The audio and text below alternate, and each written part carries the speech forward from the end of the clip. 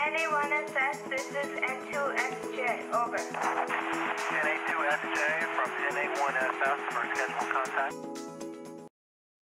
Hello, I'm Frank Bauer, the International Chair of ARISS, Amateur Radio on the International Space Station. My amateur radio call sign is KA3HDO. Amateur radio is also referred to as ham radio. The call you just heard was the start of one of over 1,300 school events sponsored by ARISS. Let's beam up to the space station and hear about our program from astronaut Tim Peake. Hi everyone, I'm Tim Peake and welcome aboard the International Space Station where we're orbiting Earth 16 times every day. One of the most rewarding activities that some astronauts undertake on orbit is to talk to schools using the space station's ham radio. Now these are events that are planned by ARISS, which is a worldwide group of amateur radio volunteers who are dedicated to introducing young people and students to science, technology, engineering and mathematics. ARISS is a brilliant opportunity for astronauts to talk to school pupils. It's really rewarding to hear how excited the students are when they're talking to somebody up here in space. And it's a true privilege to be able to inspire our next generation of scientists and engineers through amateur radio. ARISS is excited to celebrate 20 years on ISS this November. Installation and checkout operations by the Expedition 1 crew just 11 days after their arrival makes ARISS the first operational educational outreach system on ISS.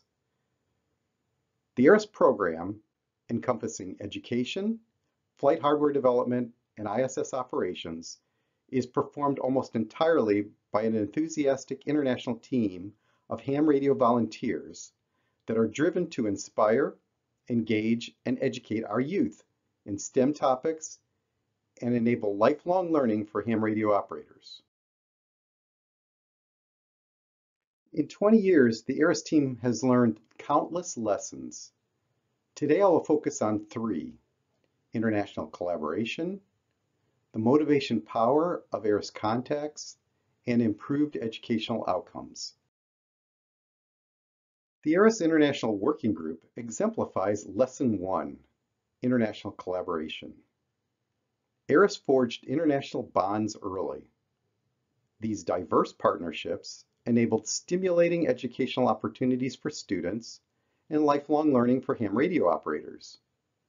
Examples include two-way voice and data, TV downlinks, flight experiments, in-space engagement projects, and SuitSat, a ham radio and a spacesuit.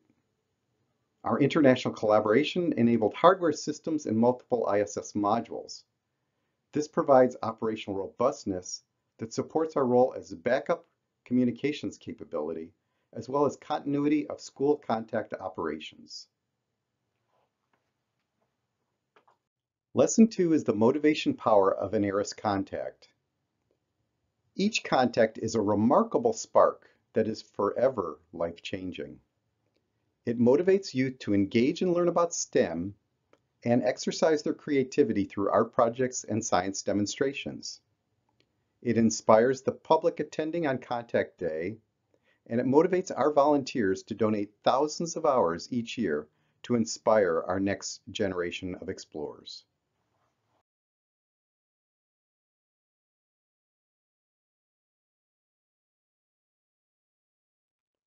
Lesson 3 a decade ago, ARISS set out to enhance our student educational outcomes. Working with NASA, our school selection process was transformed to a competitive request for proposals based on planned educational content.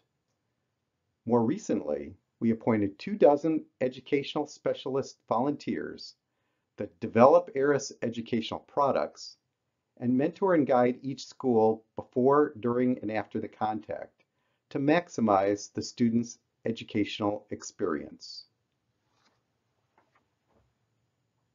In 20 years, the ARISS program jump-started countless students' technical careers and affected millions from all walks of life.